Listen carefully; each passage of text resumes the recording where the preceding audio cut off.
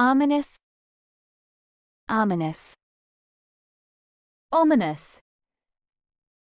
Ominous. Ominous describes something that suggests a feeling of foreboding or danger.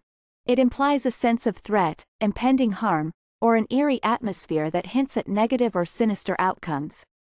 Ominous situations or signs often evoke a sense of unease or apprehension. Now, let's get to some examples which can help you learn from native speakers.